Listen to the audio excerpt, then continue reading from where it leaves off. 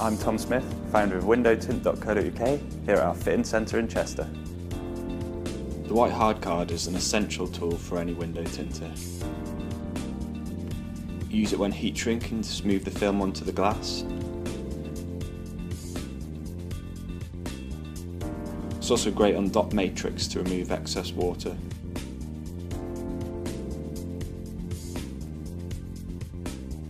Also handy for reaching behind tight gaskets